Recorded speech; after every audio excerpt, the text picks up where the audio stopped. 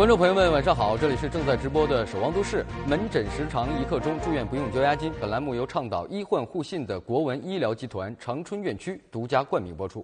我们的融媒体直播呢正在进行当中，大家呢可以通过抖音、今日头条、即时通等新媒体平台进行互动。您还可以通过我们的热线电话零四三幺八九零八九零零零或者零四三幺九六三八九零以及《守望都市》的官方微信平台提供新闻线索，一经采用，最高可以获得千元现金奖励。下面的时间，我们先来看一下今晚节目的主要内容。长春市招生考试中心发布中考防疫提醒：吉祥码再升级，核酸检测时效直接看。它放在第一个首页的话，也方便我们自己查看，也是便于他们工作人员的一个看到，我们也通行的比较顺畅。助力企业纾困解难，省人社厅等五部门出新政。新增一次性扩岗补助政策，旨在激励企业吸纳今年大学毕业生就业。长春推进基层快递网点行业优先参加工伤保险，增加制度的吸引力，才能激发这个快递网点主动参保的积极性。下一步的重点，各个行业的话呢，都需要建立一个制度平台的体系。手机号一键查询、一键解绑服务上线。警方破获微信开设赌场案，涉案金额一千五百万。吉林公安啊！哪屋？实话说哪屋？来了，来了！男子出借银行卡帮助他人非法洗钱，对方承诺给王某一千六百元人民币换取这六张银行卡的使用权，对方又说给你这个银行流水转进转出的百分之十五作为提成，这样的话有很十多万，于是王某就同意了。长春至九台 T 三九八路公交专线恢复运营，乘客上车需要扫乘车码。出示四十八小时核酸证明，早晨六点到六点半头一班。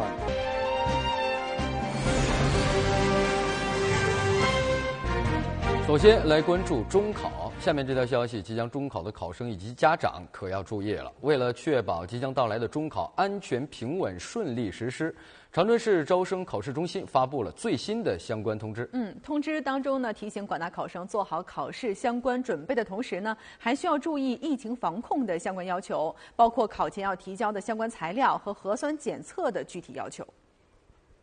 六月十二号晚上，长春市招生考试中心对外发布了长春市二零二二年初中学业水平考试组考防疫提醒公告。那所有的考生啊，应该从考前十四天，也就是六月十二号开始，完成集市办中的健康码注册，并填写长春市二零二二年初中学业水平考试疫情防控考生承诺书和长春市二零二二年初中学业水平考试健康状况和旅居轨迹监测记录表。据了解，根据相关要求，从十二号开始至考试结束期间，考生原则上不得离开考试所在地，且考前三天，即六月二十三号，考生要向所在学校或考试招生机构上交四份材料，分别是长春市二零二二年初中学业水平考试疫情防控考生承诺书扫描件或照片。长春市二零二二年初中学业水平考试健康状况和旅居轨迹监测记录表扫描件或照片，当天的健康码截图，以及从长春市以外地区返回的考生返程证明扫描件或照片。同时，考生还应于六月二十四号、二十五号上午七点至十点到居住地社区进行一次核酸检测。在六月二十六号九点前，将四十八小时内核酸检测阴性报告上交至所在学校或考试招生机构。此外，对考前十四天至考试结束期间离开长春市或发热等情况不符合当地防疫要求的人员，考生不得与健康考生同考场参加考试。招考中心提示：根据疫情形势变化，组考防疫相关要求或会有相应调整。考生应及时关注相关信息，以免影响正常考试。守望都市报道。现在大家每天都要用到集市办的小程序，特别是在疫情期间，集市办更是成为了我省居民疫情防控的重要工作平台。嗯，最近几天呢，很多细心的朋友可能发现了集市办啊进行了升级，其中呢这个吉祥码界面了有了新的变化，我们一起来了解一下。在大家的日常生活中呢，特别是咱们的吉林人民，对于几时办的使用是非常普遍的。那无论是大家出门逛街购物，还是去做核酸，都会经常出示我们的吉祥码。那最近呢，我们的吉祥码也是再次迎来了优化升级，在原有的左下方核酸检测结果的小模块中呢，又增加了核酸检测的时效，以便大家查验。那同样，除了微信小程序之外呢，那支付宝也是做出了同样的调整，点击健康码。也可以同样非常方便的看到自己核酸检测的时效了。我觉得挺方便的，因为我们现在基本上去哪儿办事都要核酸嘛，也害怕自己这个错过时间。它放在第一个首页的话，也方便我们自己查看。现在还需要算一下日子，现在就比较直观，比较方便了。也是便于他们工作人员的一个看到，我们也通行的比较顺畅，比较人性化，很好。在此也提醒各位市民，在微信小程序上搜索“灵动长春”，在复工复产专区中点击核酸地图，就可以知道自己所在位置附近的便民核酸检测亭以及其工作时间了。守望都市张萌、静泽报道。来关注我省疫情方面的最新情况。六月十二号零到二十四时，全省无新增本地确诊病例，新增本地无症状感染者四例。另外呢，六月十二号零至二十四时，全省新增治愈出院确诊病例一例，新增解除隔离医学观察无症状感染者十例。六月十二号零至二十四时，全省无新增本地确诊病例，新增本地无症状感染者四例。均在延边州。六月十二号零至二十四时，全省新增治愈出院确诊病例一例，在延边州。新增解除隔离医学观察无症状感染者十例，其中白山市七例，延边州两例，长春市一例。通报中还提醒广大公众要密切关注各地发布的疫情动态信息，如与阳性感染者活动轨迹有交集或近期有疫情发生地区旅居史，请立即主动向当地社区、村屯或疾控机构报告，按要求配合做好相关疫情管控措施。如出现发热、咳嗽等急性呼吸道症状，请在做好个人防护的情况下，及时到当地定点医疗机构发热门诊就诊。守望都市编辑报道。明天就是世界献血日了，为此，我们都市频道也将联合长春市中心血站，组织一场特别的专题节目。嗯，今天呢，我们就通过一个短片来了解血站的工作人员们在疫情期间的抗疫故事。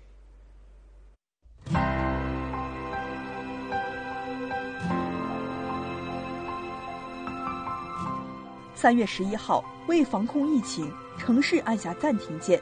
无数白衣天使逆行，奔赴抗疫无声战场。三月十一号，长春市中心血站共组织四十八名医务工作者，组成五支抗疫队伍，支援吉林省各地抗疫工作。李雪梅是长春市中心血站献血服务部护士长，从事献血事业已经三十六年的她，有着丰富的专业阅历。三月十一号晚十点，李雪梅临危受命，按上级指示。快速组建一支核酸采样小组，支援全民核酸检测。当时我是一个小时的时间吧，就是我们献血服务部就是有二十多名护士报名，最终呢，我们是我带了十五名护士下去的。我们是支援二道区那个委县委分配那个不同的社区就下去就要做核酸检测这块。李护士长说，支援一线的护士当中有刚刚参加工作不满两年的年轻护士。也有即将举办婚礼的准新娘，更有阅历丰富的资深护士。面对来势汹汹的病毒，大家都没有退缩。那我要安安全的给他们带出去，要安安全全给他们带回来。十二号、十三号呢做了一个培训，十五号早上六点钟准时出发的，支援二道区卫健委。头半个月吧，就是整个全员核酸检测量非常大，所以平均就是每天都得采到上万人。我们每天要是爬楼的话。也有高层的话，就是三十三层一梯四户，我们往上爬；就是有电梯的话，我们是不那个往楼下走是不坐电梯的，我们要往下走。这个电梯的空间呢，就是说比较狭窄，所以说我当时我们要求我们护士，就是说坐电梯上到最高层，从最高层往下走，一层一层的往下走，一层层的给每户做核酸，这样减少那个二次污染。在众志成城齐心抗疫的日子里，无论是奋战在一线的医护人员。还是下沉支援的社区工作者，再或顶风冒雨的志愿者、奋斗者、守护者，每个你都值得被看见。我这个办公室吧，这个电话呢是当时定的是预约电话，献血预约电话，所以等到我上班的时候呢，就是好多人市居民嘛，就是给我打电话，市民给我打电话，就是想要预约这个献血。他说当时那个你们不是血站来支援二道吗？他说做核酸检测，他说我还那个就是看到你们那个衣服上防护服上写上长春血站的。他说我觉得感觉到特别亲切。他说我这个疫情过后呢，我也想奉献爱心。我说特别欢迎你。疫情之下，白衣天使选择逆行，扛起责任与担当，而居家数月的献血者们也在第一时间投。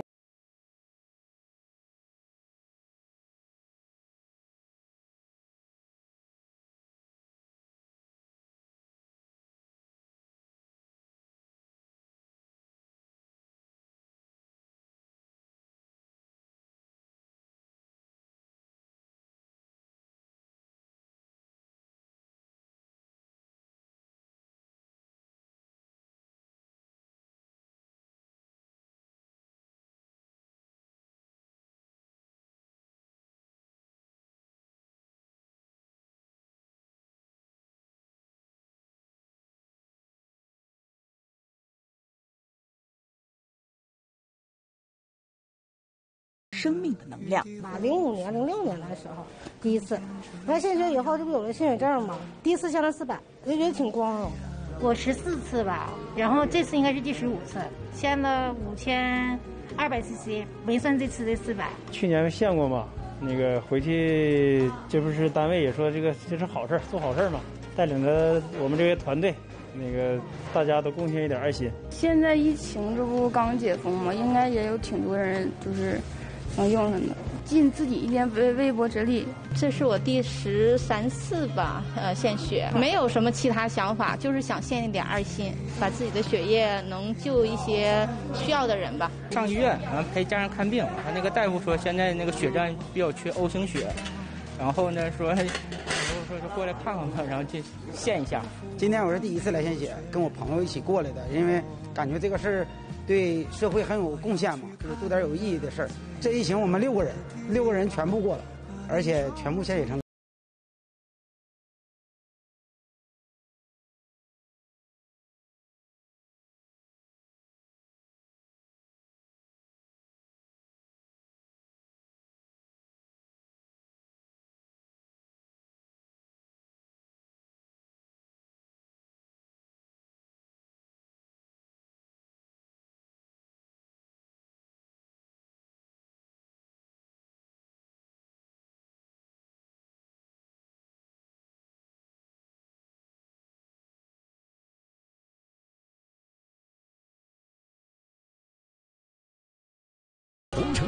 长，春农商银行提醒您关注天气变化。更适合中国宝宝体质的飞鹤奶粉，提醒您关注天气变化。中国邮政储蓄银行吉林省分行提醒您关注天气变化。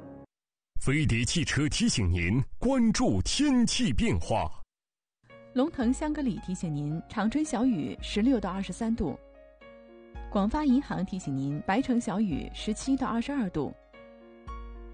海信集团提醒您，松原小雨十七到二十四度。四平卫校提醒您，四平小雨十六到二十四度。思浩乘用车提醒您，辽源小雨十五到二十四度。青岛啤酒提醒您，吉林小雨十六到二十四度。金生牌天然松仁露提醒您，通化小雨十四到二十四度。老泥窖提醒您，白山小雨转多云十二到二十四度。养乐多提醒您，延吉阴转多云，十一到十八度。飞碟汽车提醒您，长白山小雨转多云，九到二十度。梦之蓝梦六家提醒您，长春小雨十六到二十三度。更好的时代，值得更好的你。梦之蓝梦六家提醒您关注天气变化。美好城市，梅河新区欢迎您。梅河新区提醒您关注天气变化。助力企业纾困解难，省人社厅等五部门出新政。新增一次性扩岗补助政策，旨在激励企业吸纳今年大学毕业生就业。长春推进基层快递网点行业优先参加工伤保险，增加制度的吸引力，才能激发这个快递网点主动参保的积极性。下一步的重点，各个行业的话呢，都需要建立一个制度平台的体系。手机号一键查询、一键解绑服务上线。警方破获微信开设赌场案，涉案金额一千五百万。吉林公安啊！哪屋？实话说哪屋？别动！别动！男子出借银行卡帮助他人非法洗钱，对方承诺给王某一千六百元人民币换取这六张银行卡的使用权，对方又说给你这个银行流水转进转出的百分之十五作为提成，这样的话有很十多万，于是王某就同意了。长春至九台 T 三九八路公交专线恢复运营。乘客上车需要扫乘车码，出示四十八小时核酸证明。早晨六点到六点半头一班。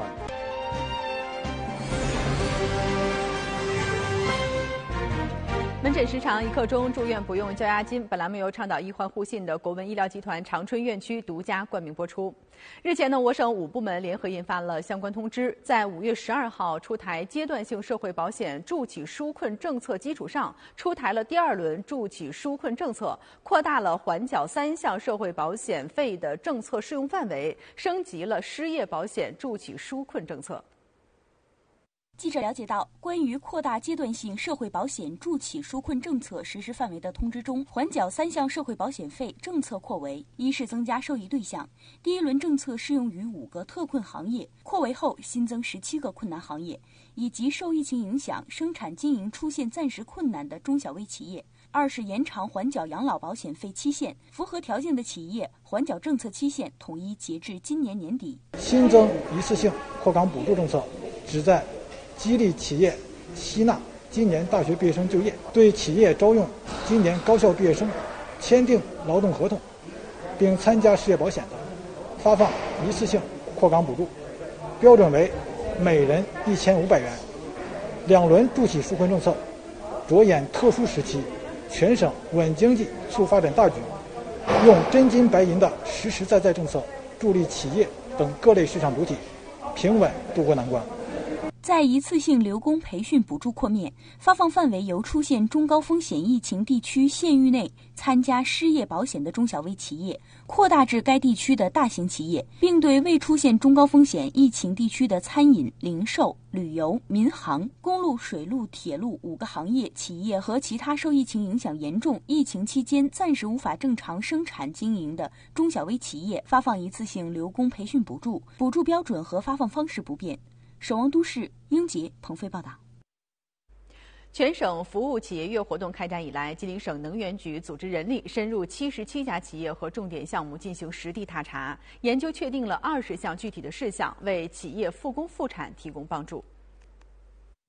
吉林省能源局围绕降低企业用电成本、减少企业欠缴电费违约金、提供能源领域政策解读、争取扶持政策、加快项目手续办理等方面，研究确定了二十项具体事项，助力企业复工复产。为保障重大项目用电需求，吉林省能源局协调相关部门，为重大项目配置专属客户经理，开辟办电绿色通道，落实最简流程、最优方案、最快速度机制，助力企业发展。会同省电力公司，对受疫情影响的欠费企业和个体工商户不停电，并减免在此期间产生的欠费违约金。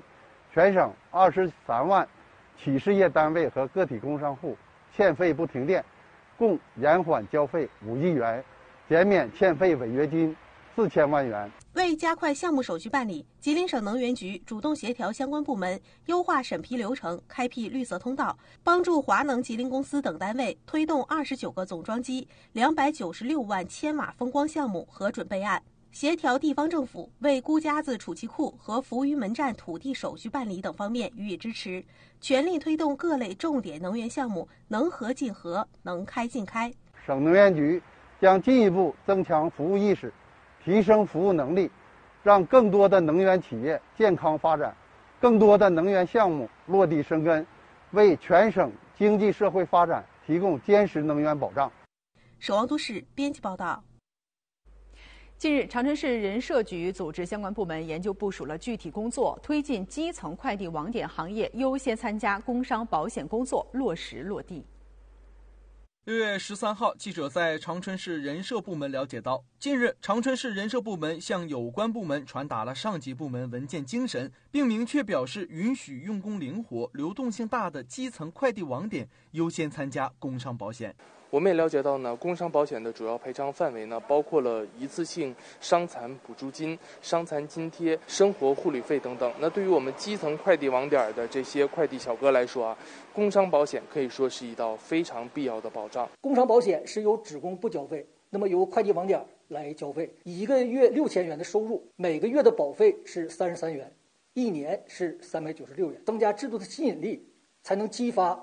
这个快递网点主动参保的积极性，我们也了解到呢。为了落实好相关政策，长春的人社、邮政、税务、社保部门也建立了沟通协调机制。那么下一步啊，将共同做好宣传以及政策的落实相关工作，力争实现参保全覆盖，为快递网点去把它算清账，这样呢才能接受它的接受度。下一步的重点，各个行业的话呢，都需要能建立一个制度平台和体系。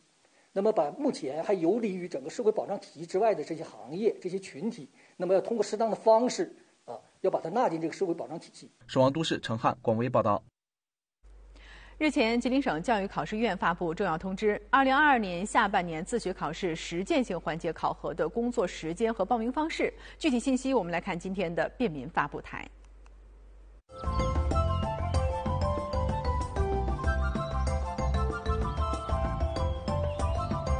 吉林省教育考试院发布二零二二年下半年自学考试实践性环节考核工作的通知，考试相关信息和报名时间已确定。网上申报时间：六月二十四号九时至七月八号下午十六时。七月八号下午十六时，网报系统将自动关闭，逾期不再补报。报名采取考生网上申报的方式进行。报名网址如下：二零二二年国家医师资格实践技能考试于六月十三号至二十六号举行。因考前考后组织工工作需要，六月十三号至二十七号，长春市医药学会联合会暂停办理一切业务，请有办理业务需要的人员在六月二十八号后电话咨询或前去办理。因快速路施工需要，即日起至九月三十号二十四时，新城大街与天泽大路交汇口全封闭施工。因朝阳区政府旧城改造项目施工需要，即日起至七月十号，龙里路同志街至人民大街、立信街、自由大路至同光路分段封闭施工。日前，一汽大众汽车有限公司根据相关召回管理条例和办法的要求，向国家市场监督管理总局备案了召回计划。自即日起，召回生产日期标注为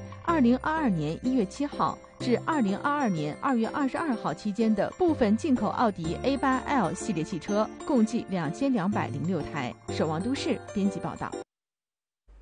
近日，中国信息通信研究院上线了手机号一键查询与一键解绑服务，可以查询手机号注册的互联网账户的情况。通过这一功能呢，大家可以了解自己的手机号绑定了哪些 app，不需要的 app 呢，可以进行便捷解绑了。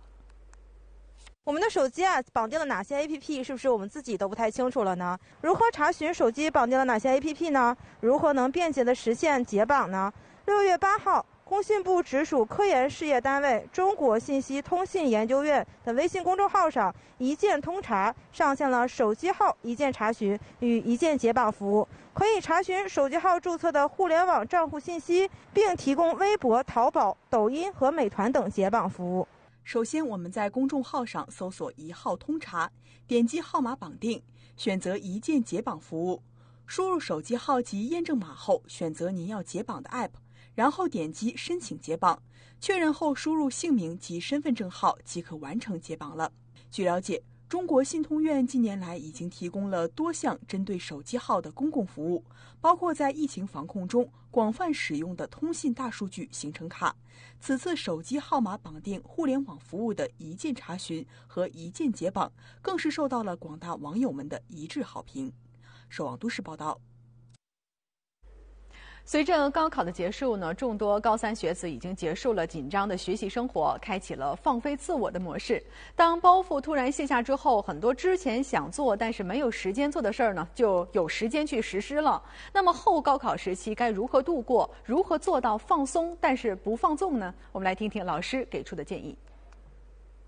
十年寒窗，一朝复考。随着2022年高考最后一场考试的结束，高三学子们卸下了包袱，进入了所谓的后高考时期。从此刻到填报志愿及顺利进入大学，还有很长的一段时间。这期间该如何规划自己的学习、生活和休息呢？如何在吃好、玩好、休息好的前提下有所收获呢？来自东北师范大学附属中学自由校区的韩丽老师给高三毕业生们提出了如下建议。一、全面分析自我，准备科学报考。未来想做什么样的工作，然后想去什么样的城市，这些的前提是你准确的给自己做一个相对比较客观的估分。在这个多方位的准备的基础之上，然后在六月二十三四号，呃，分数出来之后，然后你对自己前边的所有的这些事情做一个最后的总结，啊，有一个科学的报考。二、设定各种小目标，掌握一技之长。你们可以设定很多高考之后的小目标，可以在这段时间考个驾照、减肥、啊健身、学打羽毛球，或者是女孩学学化妆、学学穿搭啊，这些小目标都可以让你在高考这个大目标完成之后，有一个新的生活的寄托。这样的话，你不至于太过于放纵，过度的放纵对孩子的身心健康是有非常大的伤害的。三、修炼辅助技能，为大学生活做准备。九月一号就要上大学了嘛，其实现在大家也都知道，大学里边也很卷。那么你可能需要先做好准备。第一，建议你学语言，开始第一学期要涉及到过四级，那你的英语要过关。或如果要是想学人工智能、大数据这些这个比较热门的学科的话，可以去学一学编程，这些都是在为大学做准备。除了以上建议外，还要提醒广大高三毕业生，要在旅行、运动期间注意安全防护，在游泳、乘船、登山、露营等活动中要注意防范溺水、火灾及高处坠落等情况。假日期间应维持良好作息习惯，不要昼夜颠倒、沉迷网络游戏、暴饮暴食等，更不要从事违法犯罪活动，以免影响正常入学和日常生活。拥有良好的生活习惯，才能拥有健康快乐的假期，才能信心满满的步入大学校园。首阳都市王璐海波报道。清血八味片，国药清红血，血好心脑好。我们休息一下，稍后回来。警方破获微信开设赌场案，涉案金额一千五百万。吉林公安啊！哪屋？十八处哪屋？来了，来了。男子出借银行卡帮助他人非法洗钱，对方承诺给王某一千六百元人民币换取这六张银行卡的使用权，对方又说给你这个银行流水转进转出的百分之十五作为提成，这样的话有很十多万，于是王某就同意了。长春至九台 T 三九八路公交专线恢复运营，乘客上车需要扫乘车码，出示四十八小时核酸证明，早晨六点到六点半头一班。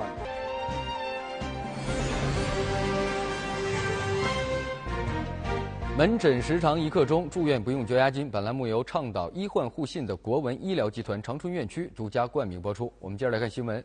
近日呢，安图警方根据一起报案线索，经过缜密侦查，破获了一起利用微信开设赌场案，涉案金额一千五百万元，抓获犯罪嫌疑人四人。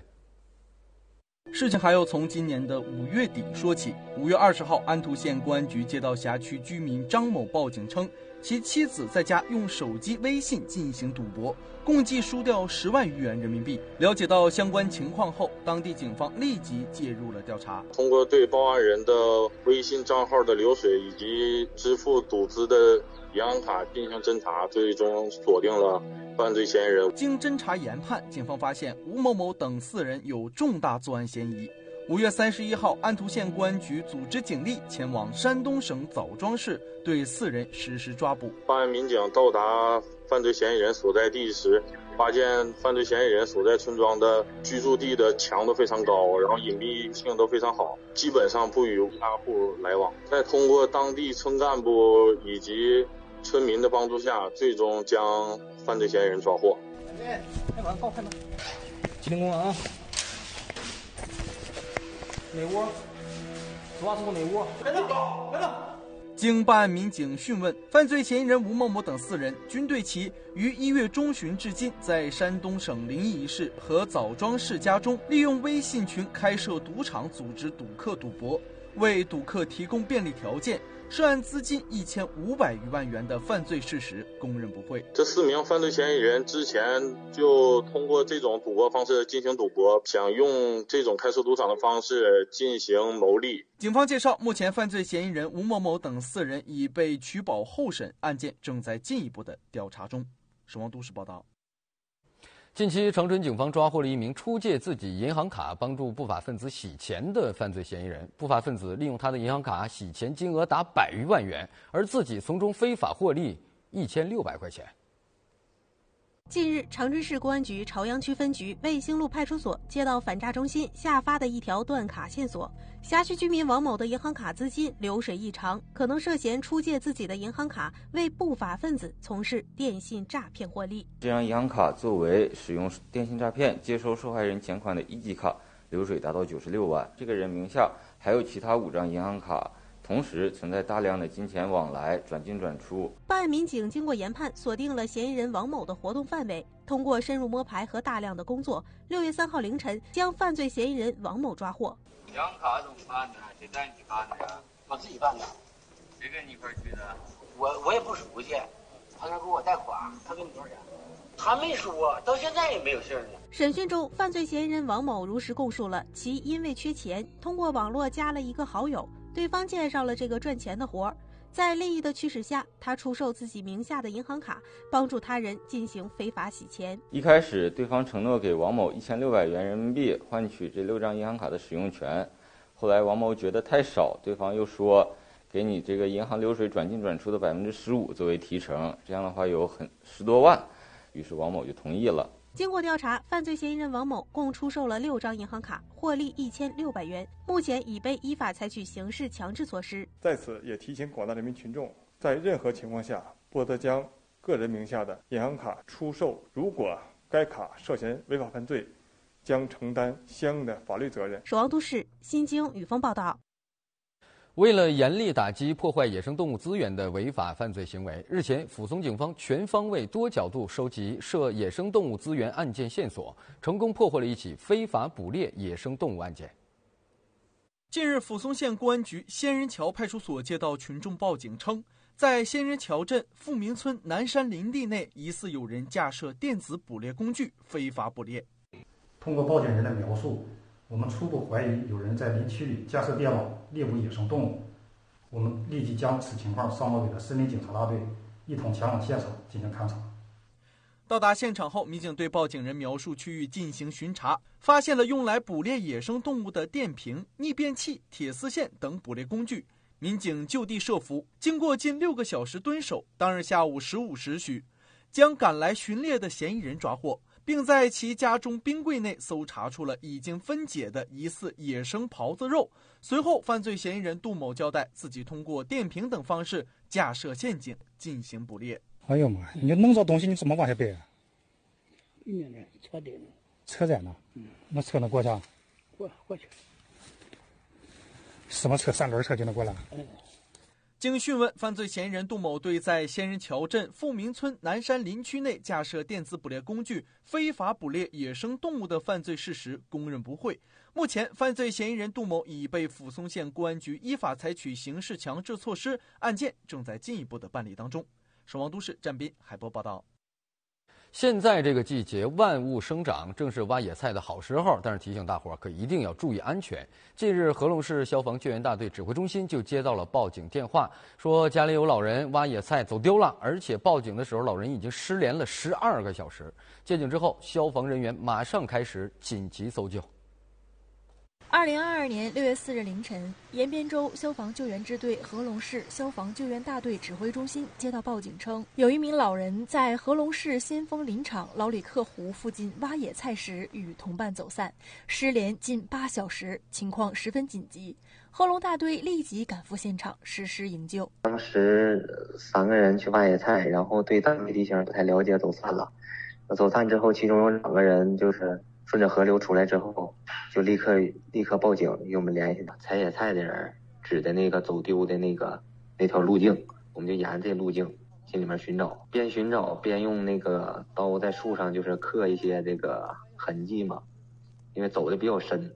雨天林子里道路崎岖，能见度较低，情况极其复杂。最终，经过两个多小时的寻找，在距离国道十多公里处找到了失联老人。来了，别动了成功了！就是我们也喊他，然后也鸣枪了，就是就是让他能听见那个声音嘛。喊他的时候，听到那边又有一个女同志就回应，我孙子那声就把他找着了。没事没事，别着急别着急，没事别着急，快快快！啊，能联系到他们吗？那个微信电话我拿到拿到换一下来。没事你让哎你让你让他坐一会儿，别一会儿一会儿咱还得走呢。坐一会儿补补充点能量。现场消防救援人员将携带的衣物、食物、饮用水递给老人，并等老人体力恢复后，将其搀扶出林子，交给在外等待的亲人手中。小王都市加路编辑报道。清血斑胃片国药金控血，血好心脑好。休息一下，稍后回来。长春至九台 T 三九八路公交专线恢复运营。乘客上车需要扫乘车码，出示四十八小时核酸证明。早晨六点到六点半头一班。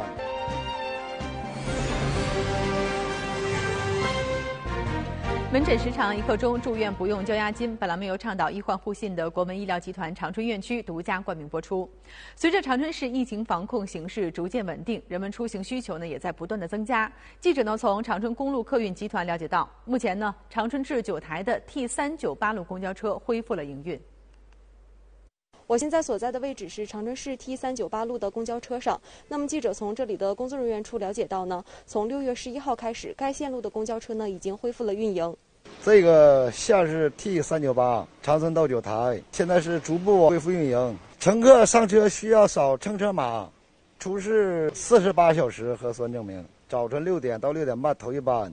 据了解，T 三九八路公交线路的六辆车已经恢复营运，车辆的班次与车格均与之前保持不变。首末车时间为早六点半到下午六点，车格时间为三十分钟。如有中高风险地区的旅居史或者吉祥码为红、黄码，带星人员谢绝乘车。为了防控疫情，一天消毒四次，是一个来回消毒两次。乘坐本次班车是隔一个座坐一个。据了解，T 三九八路公交车共设置十七个站点，起始站为金源市场九台客运中心站，方便往返长春和九台的乘客出行。爽都市何欢光磊报道。今天，长春市群众艺术馆在严格按照限流原则的前提下，也恢复了线下授课。闭馆三个月之后，学员们再次相聚一堂，共同学习。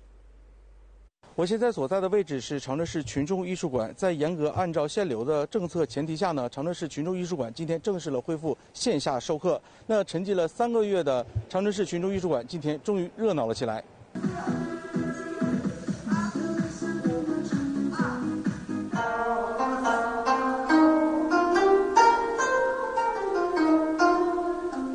我们一共呢有六大门类啊，十五项专业。比方说六大门类有音乐类。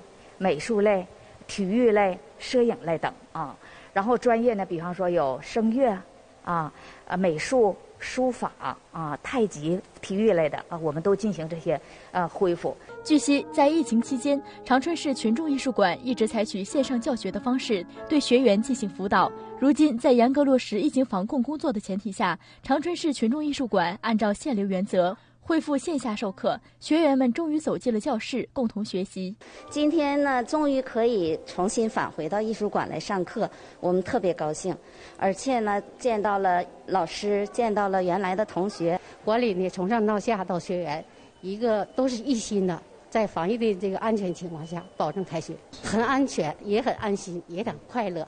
这是我们退休老年人最大的幸福了。据悉，长春市群众艺术馆在线下授课期间将严格执行各项防疫政策，合理排课，间歇期对教室全面进行消杀，为广大学员创造一个安全有序的教学环境。守望都市王雷海军报道。电影院和剧院呢，是很多人在休息日选择放松休闲的场所。那么，观影时应该如何做好防疫？权威部门呢，给出了相关的提示。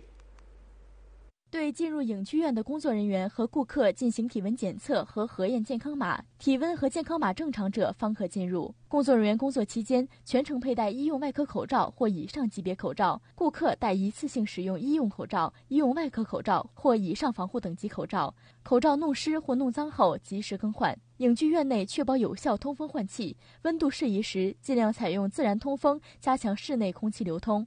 如使用集中空调，保持新风口清洁，定期对送风口等设备和部件进行清洗、消毒或更换，保持环境清洁卫生。每天定时对公共设施设备及高频接触的物体表面进行清洁消毒，并做好记录。公共卫生间要配备足够的洗手液，保证水龙头等供水设施正常工作。有条件时，可在电梯口、收银台和服务台等处配备速干手消毒剂或感应式手消毒设备。实行预约制，控制观影人数，推荐观众采用非接触扫码付款等方式购票。提醒观众保持安全距离，并在收银台、等待区设置一米线。守望都市编辑报道。在我国第十七个文化与自然遗产日期间呢，吉林省各地都开展了多种形式的非遗技艺展示活动，倡导保护和传承文化遗产。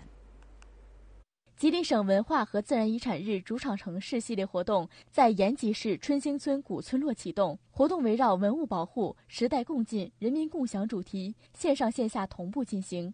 启动仪式上进行了非遗项目的展示展演，同时推出线上云游非遗、云购非遗、云展非遗和线下文物集萃等多个活动板块。通化市邀请当地非物质文化遗产传承人走进社区，讲解人参历史、采参工艺、中草药炮制等非遗技艺，并就文物保护利用、爱护文化和自然遗产等方面进行宣传。在辉南县朝阳镇平安村小学课堂上，吉林省非物质文化遗产挥发满族剪纸传承人徐桂库为小学生们讲解了挥发满族剪纸文化的起源、流派和意义，并手把手传授了剪纸的基本技巧。了解了我国民间艺术的博大精深，充分体会到了艺术的魅力。据了解，文化和自然遗产日活动期间，全省计划举办线上线下非遗宣传展示活动五十九场，借助活动影响力，打造品牌非遗民族项目，推动传统文化和现代文明有机融合。守望都市编辑报道。从四月初开始呢，吉林省聚焦文旅企业难点痛点，制定扎实有效的政策举措，有力缓解了企业压力，提振行业信心，推动文化旅游市场全面快速复苏。在长春文化国际旅行社，企业负责人崔元玉正在和部门负责人针对今年的旅游市场实际情况，设计地接旅游团的出游线路。在刚刚过去的端午节假期，旅行社成功组织了疫后省内旅游首发团，这也让企业对旅游市场复苏充满了信心。崔元玉的底气不仅源于逐渐复苏的旅游市场，更重要的是来自吉林省的专项政策扶持，暂退旅行社旅游服务质量保证金，加大对企业开发新产品的奖补力度，减免企业营销推广费用。降低中小微文旅企业担保费率等十八条支持文旅企业复工复业、促进文旅市场疫后复苏政策措施，对旅行社保证金的这个返还，一定程度上呢，呃，也为旅行社企业呢舒缓了压力。文旅厅呢，呃，文旅的消费券的工作现在正在推进当中，呃，那么文旅消费券也会呃进一步的触动大家呢这个对市场的恢复，包括呢呃游客的消费热情。文旅行业十八条政策实施以来。为七百七十余家旅游企业缓缴社保资金近七千万元，退返保证金四千万元，争取吉林银联一千一百四十八万元的资金用于助企惠民。截至目前，吉林、四平、辽源、通化、松原、白城和梅河口等地旅游企业复工复业率均已达到百分之百。守望都市编辑报道。近年来，延吉市立足文化和旅游资源优势，大力实施旅游兴市发展战略，依托民俗文化、冰雪项目、恐龙资源等多点布局，精准施策，满足大众化、多样化和特色化旅游市场需求，推动了县域经济高质量发展。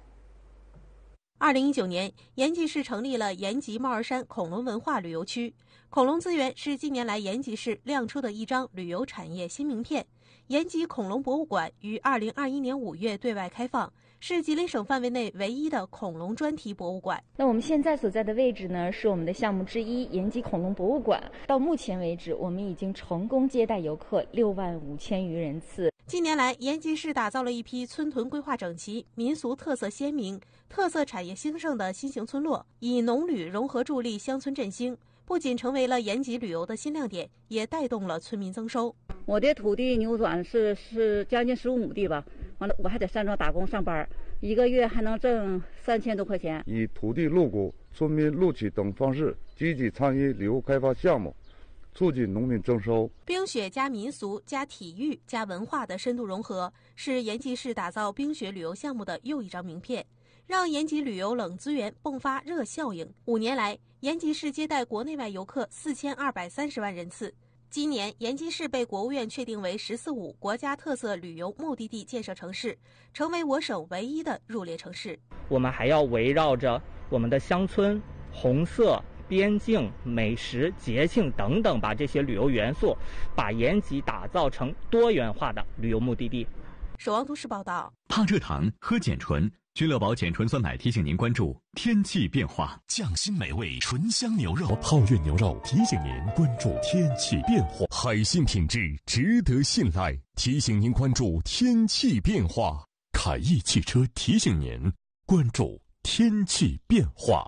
君乐宝碱。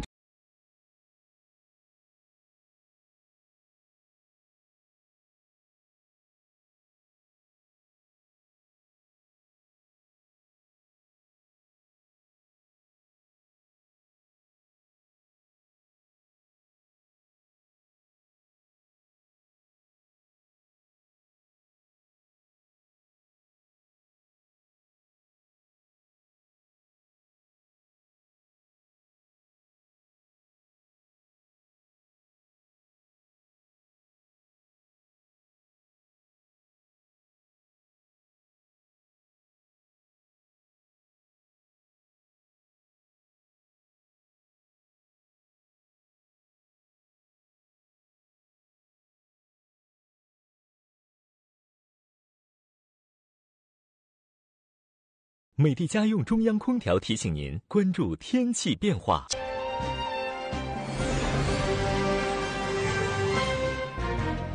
精血八味片，国药金控血，血好心脑好。欢迎您继续收看正在直播的《守望都市》。稍后的经典剧场呢，将继续播出都市情感剧《小舍得》，欢迎收看。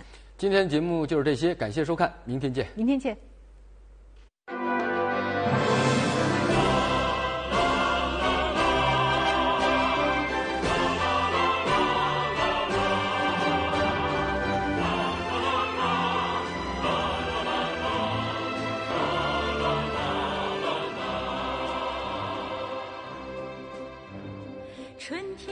春天人人都把你喜欢。你是阳光明媚的春天你是春风化雨的春天。